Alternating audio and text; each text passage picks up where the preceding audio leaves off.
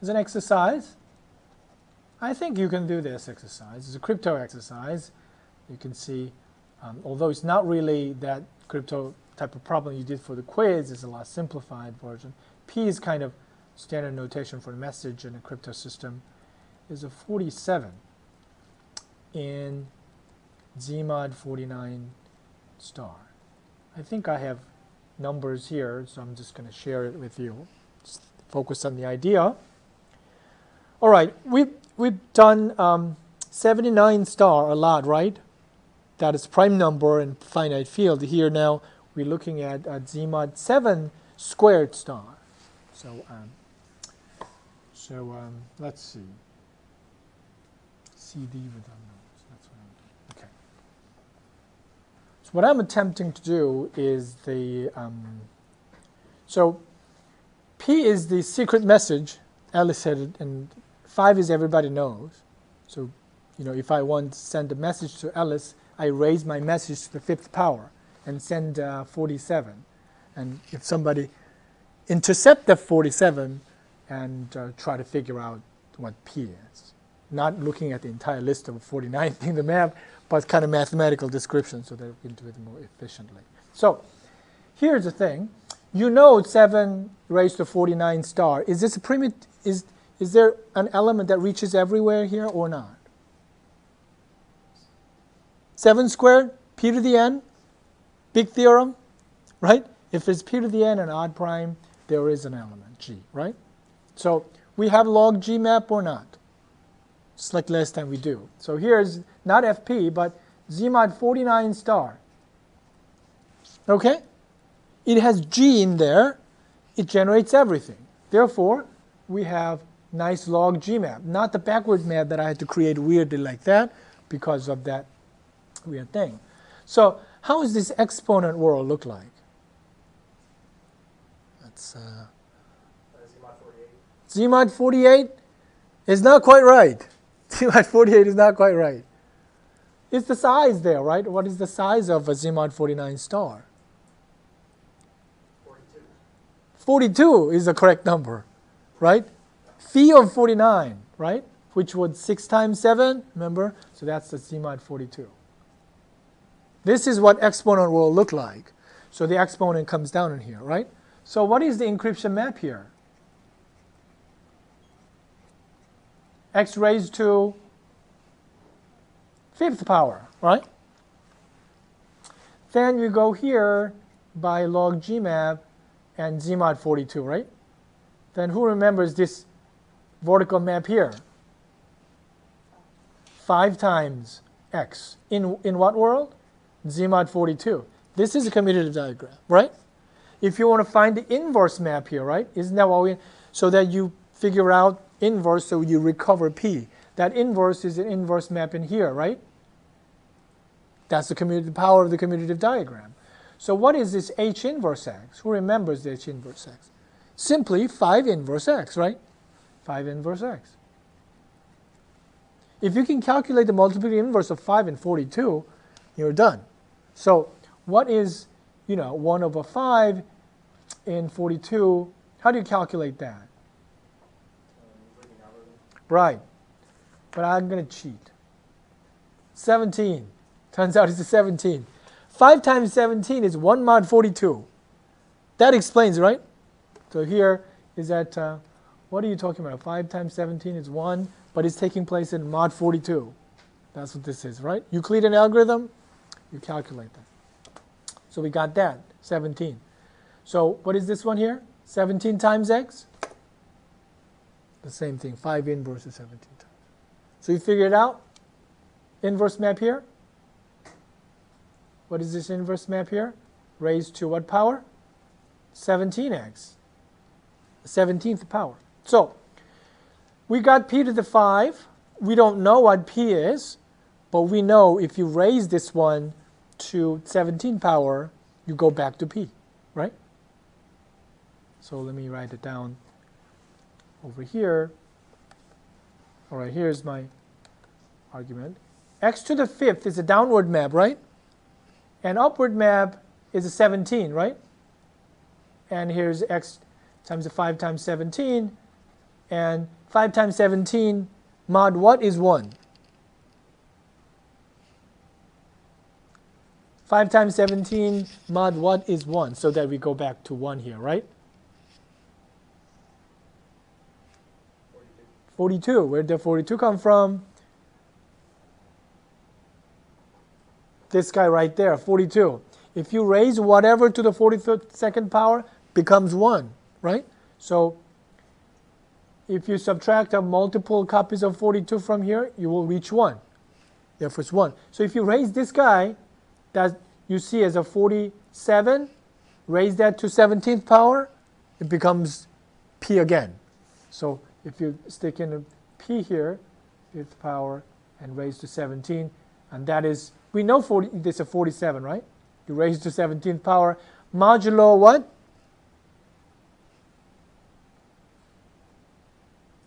49. The whole thing is 49, not 42, right? 42 is only for the exponent, so that becomes um, 3. Right? In where? Z mod 49 star. That's right. Star is not necessary here, but just to emphasize everything is taking place in the star. All right? So you receive a 47, right?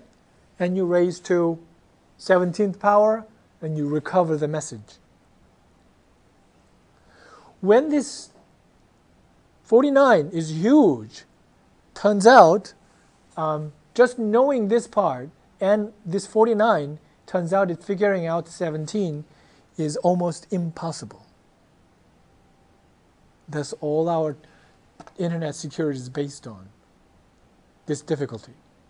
If this number is huge, and and everybody knows this 5 but figuring out 17 looks impossible. Therefore we use it as a crypto system. Whoever created this number you know this prime factorization structure. Because of that you can calculate 17 but if i just give you this you know 6000 digit number and not knowing the prime factorization structure it takes long time, maybe a month, maybe six months. So six months later, change it. That's how the Pentagon does. Or one year, they change this key so that if somebody runs 10 supercomputer connected, factor that guy, takes about one year. So they change it in one year. All right, so we're entering actual system, but this gives you a clear idea of you know, the, how the system works. All right, only downside is that we want to use this message P, right? And you want to raise the power. A message could be complicated, and it seems like to make this thing happen, P must come from relatively prime, right? It's not like I have this gigantic, I can choose anything.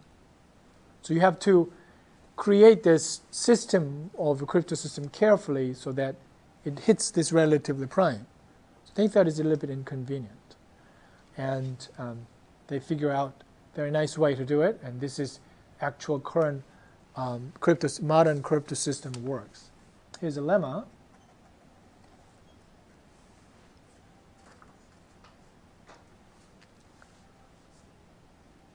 Let M be P times Q,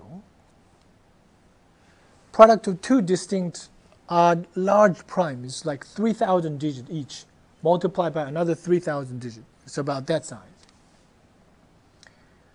D is in prime. And if you raise x to the something, then we expect 1, right? That is Euler's theorem. And when x is relatively prime to the modulus. But here's what happened. In Z mod m, so I'm going to use this one thing here, the Z mod m. raise to the phi of m, if this is relatively prime, you know it's going to be 1, right? But doesn't matter if it's relatively prime or not, if you raise to that many power, and if you add 1, then it goes back to x. So this seems like the unlocking process, right? If you have some message, and this will tell you how to recover that x back, right? So this is theorem, and it, x is not just relatively prime. Okay? So let's look at this quick example.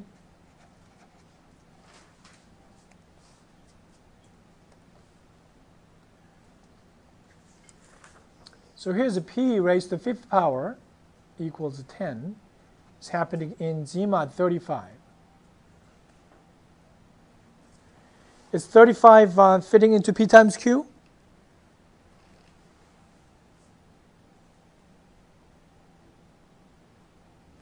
Is that right?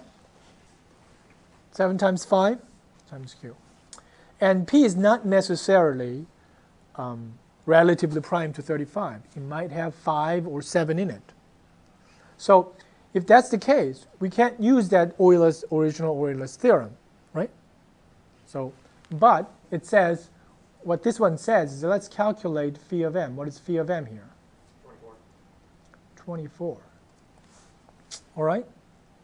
So um, here's what happened. You find the 5 is still relatively prime, not p, relatively prime. 5 is relatively prime. The key thing is that 5 is relatively prime to what number? Do you know? So that I can kind of change that 5 to 1. let's go back to the earlier example. 5 was there, right? Different example. 5 was uh, relatively prime to what? So that when you multiply 17, it became 1. But when you raise to 17th power, it became 1 there, right?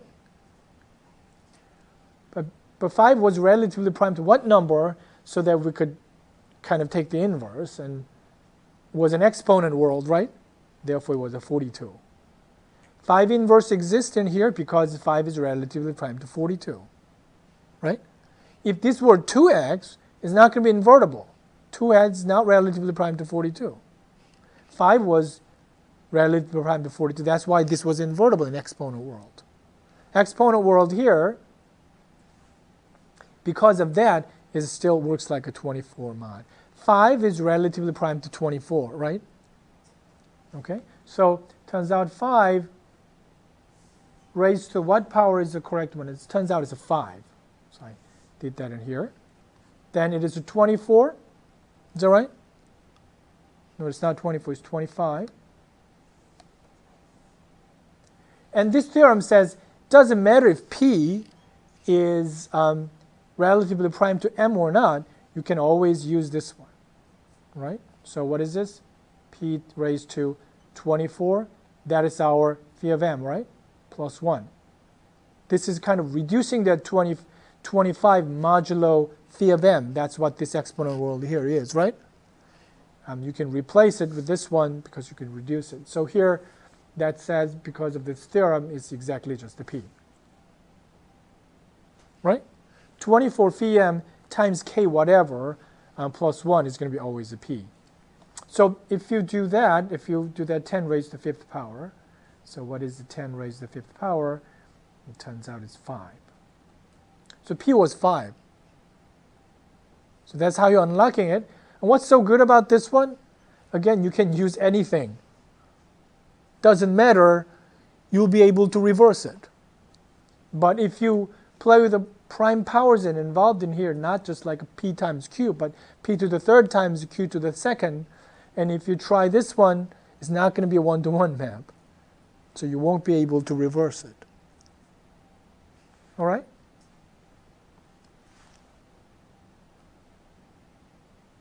You see the use of this one? Only difference so that only advantage they're using is that you can put any message in there, raise it to whatever the power, you will be able to unlock it. All right. Where's the theorem? A lemma. Here's the lemma. Okay? The proof of the lemma. So is the recording. All right, so this is the case is relatively prime. If it's not relatively prime, um, prime p is there, and q is not there. p and q are there. It's a zero. That's what I was saying. Only p is involved. All right. So I think it it's possible that uh, several powers of a p is involved if p and q are in a very different size, I think. All right. So if it is difficult, always look at the psi map, right? Z mod m going down to Z mod p. There's no star in here because we're dealing with a general situation.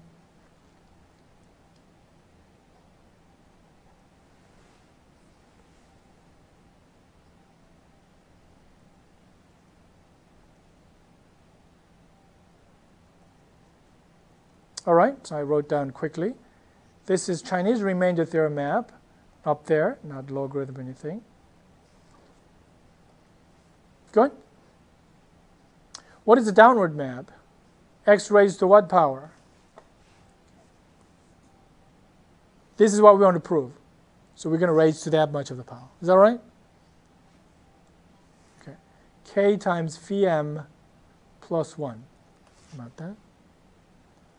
And we want to show this is exactly x, right? So we start with x and we raise to this much of the power, and we want to show this is exactly just x. But what we're going to do, we're going to detour like this. Right? That's the commutative diagram. So where does that go? x1, x2, right? Raised to the same power, k phi m plus 1, k phi m plus 1. Does that make sense? Yes. It does not get raised. We can raise it later, and he's right. It was just a reducing. Exactly, just a reducing. Good point. The horizontal map is just a Chinese remainder theorem. x1, x goes to x1, and x goes to x2. That's what it is, right? Good? Yeah. And the vertical map down there should match, and that's exactly raising it. x raised to k times the phi m plus 1. x2 raised to what? k times the phi m plus 1, raised to the same power.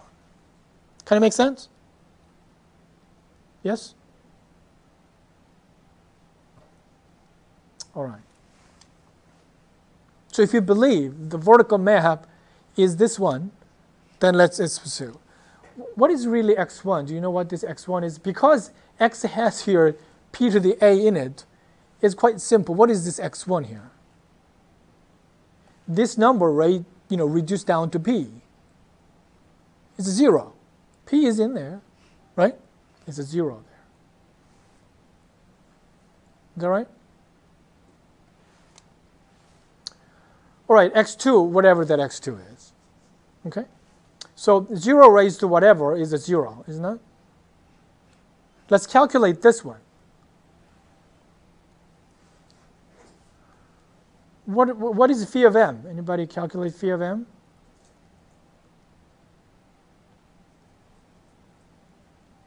m is p times q, right? So it's p minus 1 times q minus 1. Is that right? So let's write it down. x2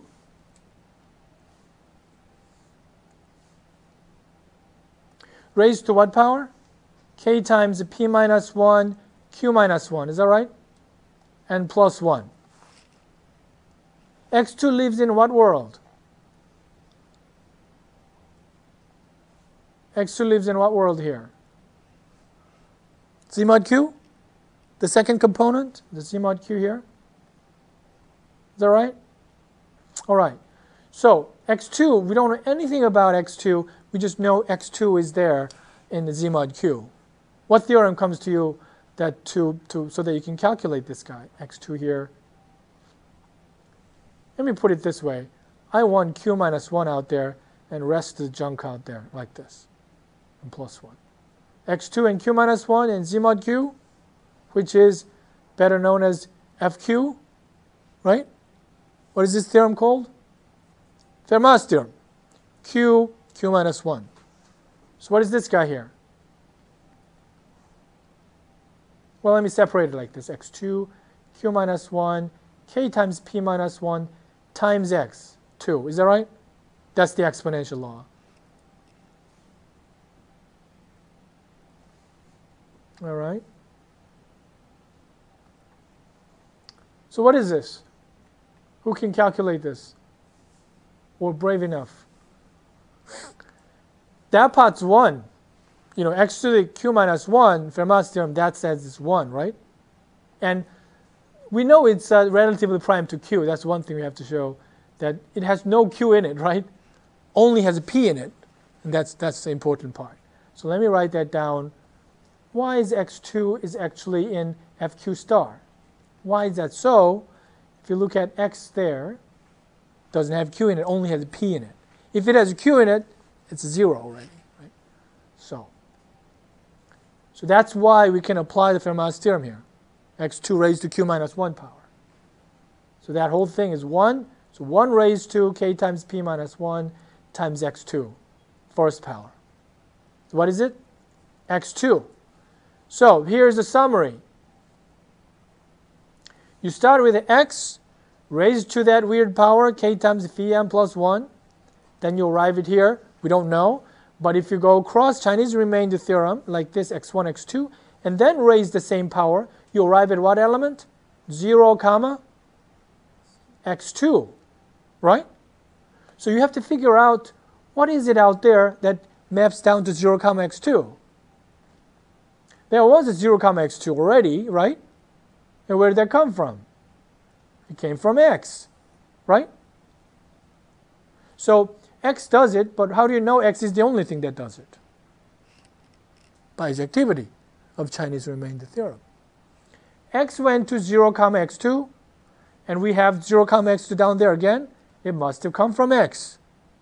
by Bijectivity of psi, Chinese remainder theorem map. Therefore, that guy went to x. If you raise to k times phi m plus 1, it becomes x using this commutativity. What if, if q is a factor? That is kind of the same. There's, you know, one factor appeared than the other factor. If p and q both appears, 0, right? 0 raised to whatever is a 0. Therefore, that uh, their claim is true. Make sense? All right. Let's, let's take the quiz. Now it's clear.